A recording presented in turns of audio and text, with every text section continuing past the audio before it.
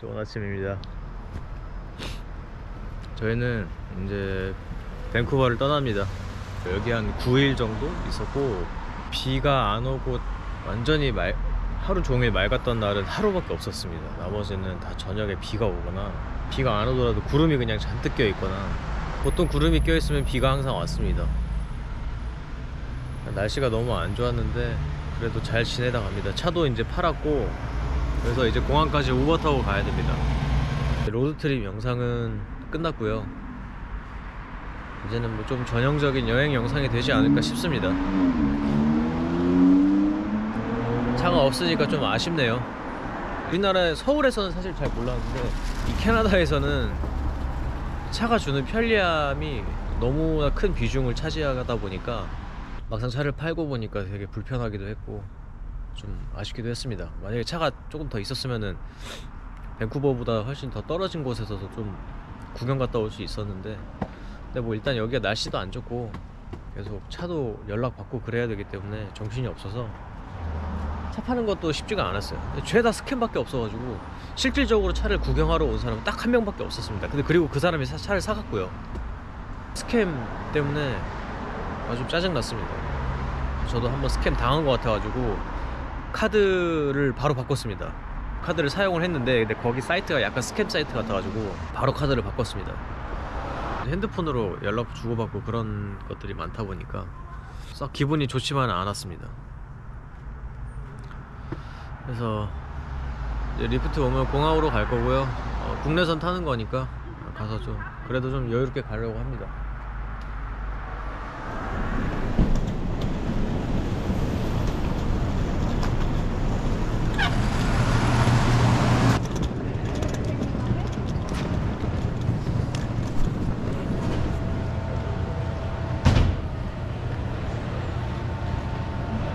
얘기하길래 23 넘어서 그렇게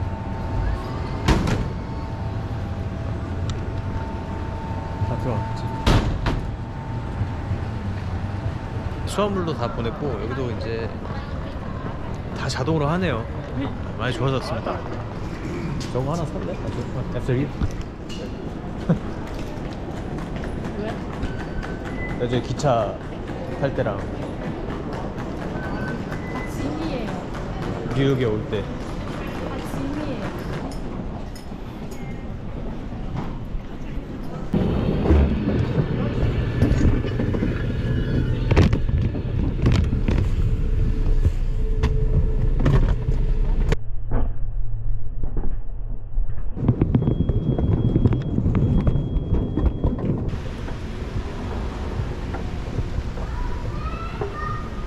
여기에 또 오네요. 아 저번엔 여기서 옐로나이프 봤는데 이번엔 몬트리올로 갑니다. 생각보다 좀 일찍 왔어요. 저희가 좀 서두르고 싶지 않아서 11시 반 비행기인데 2시간 남았네요. 지금 9시 반입니다. 아마 연착 될 것 같아요. 여기는 연착의 일상이라서 제가 봤을 때 연착될 가능성이 있을 것 같습니다. 연착은 일단 기본 10분은 되지 않을까 싶습니다. 이게 저희가 탈 비행기입니다.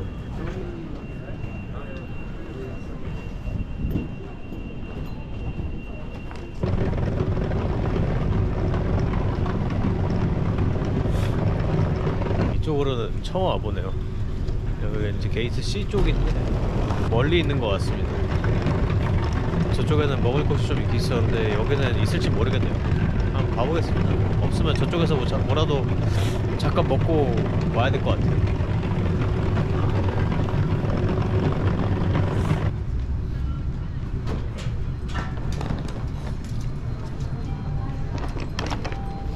티모트가 왜 이렇게- 여기는 레스토랑 같은데?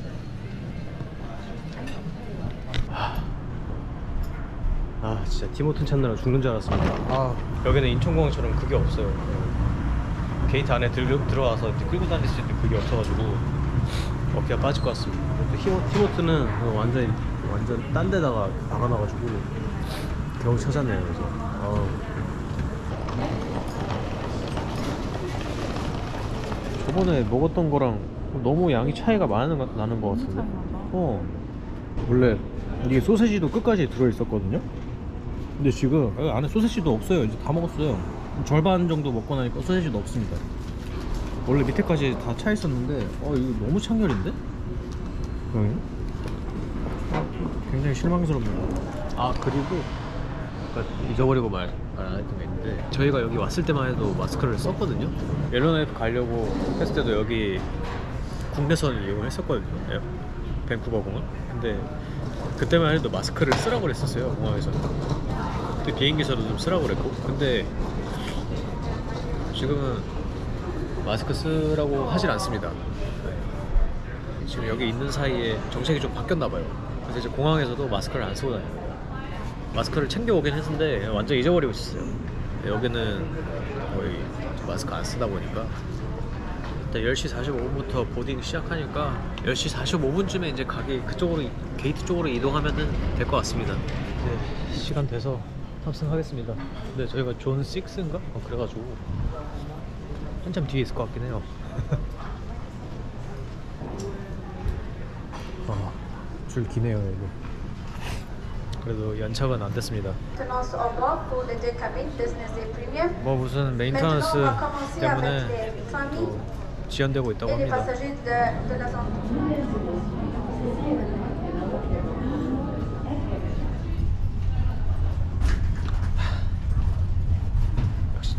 정시 출각은 글런데요. 이런 자리를 80만 원을 주고 아 진짜 자리도 최악이네. 아 씨.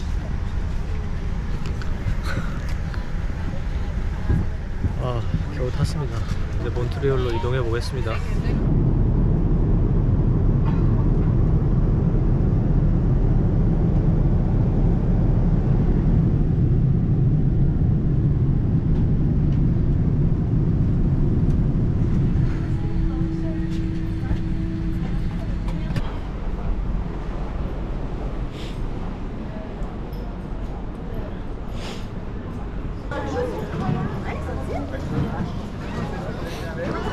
부러워 엄청 들려. 완전히 바뀌었어.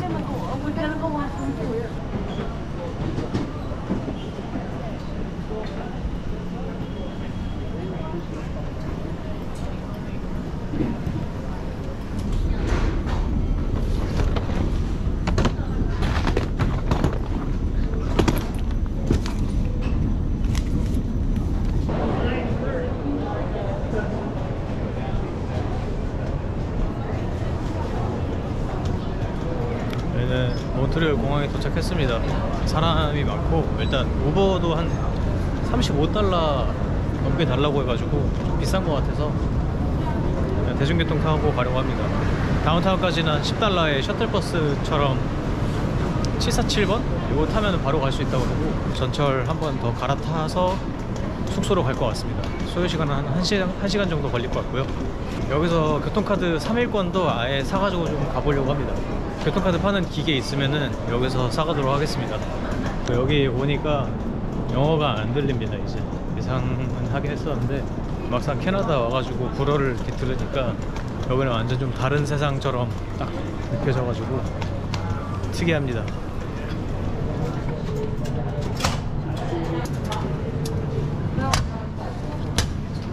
와 이것도 다 유로로 돼 있네 어. 영어가 하나도 없네. 와.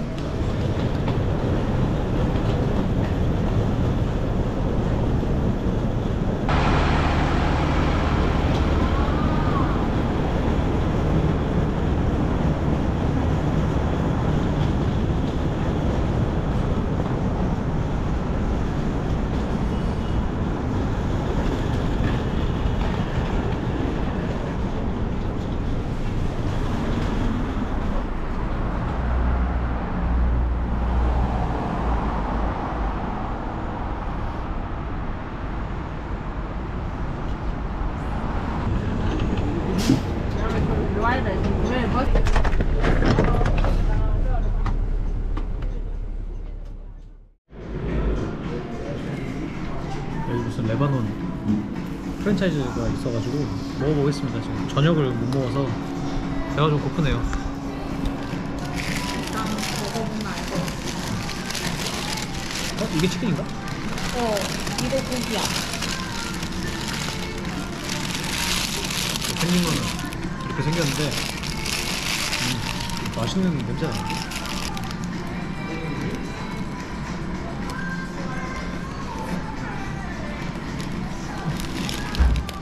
아, 진짜 맛있어. 와. 아,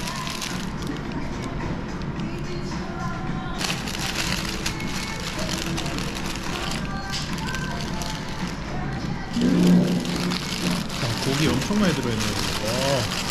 꽉 채워놨네.